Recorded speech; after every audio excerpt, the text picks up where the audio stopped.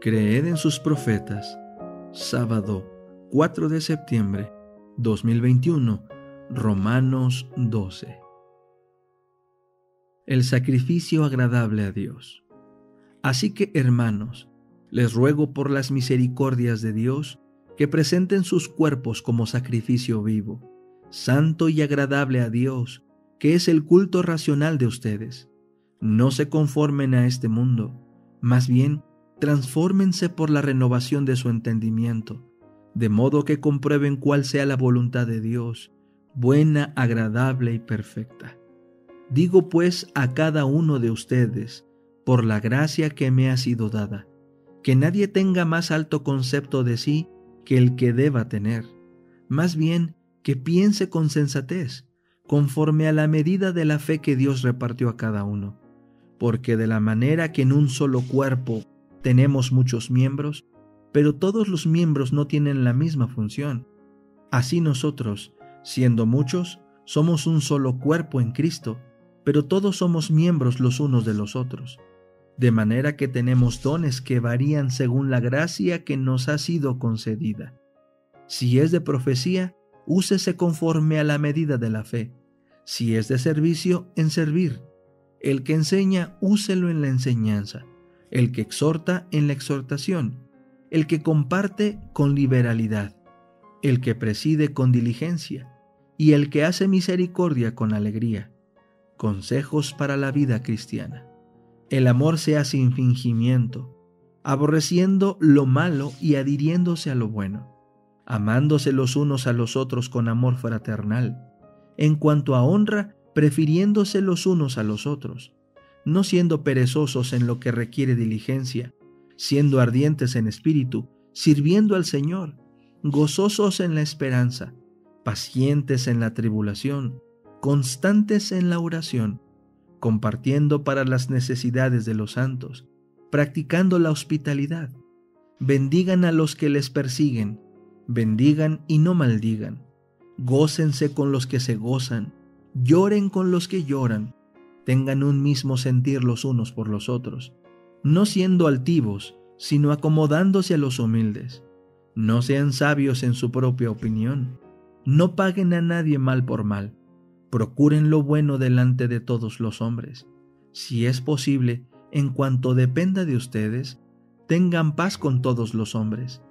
Amados, no se venguen ustedes mismos, sino dejen lugar a la ira de Dios, porque está escrito, Mía es la venganza, yo pagaré, dice el Señor.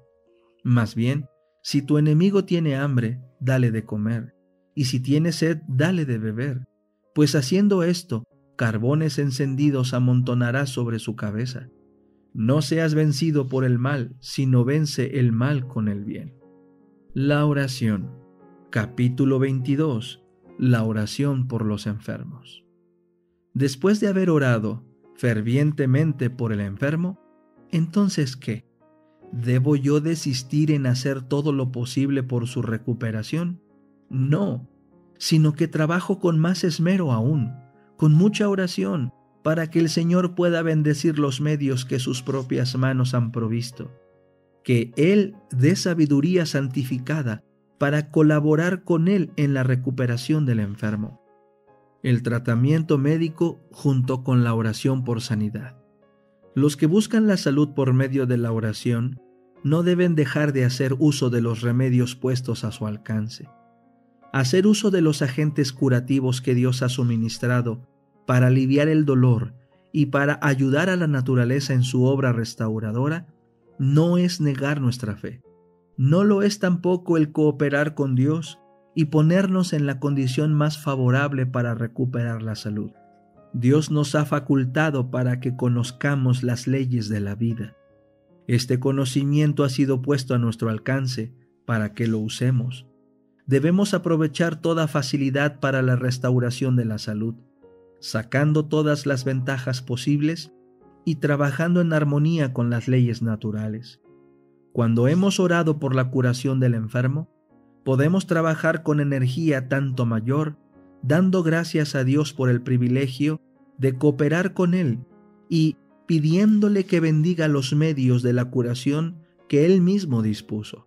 confiar en Dios, sea cual fuere el desenlace del caso. Cuando hayamos orado por el restablecimiento del enfermo, no perdamos la fe en Dios, cualquiera que sea el desenlace del caso. Si tenemos que presenciar el fallecimiento, apuremos el amargo cáliz, recordando que la mano de un padre nos lo acerca a los labios.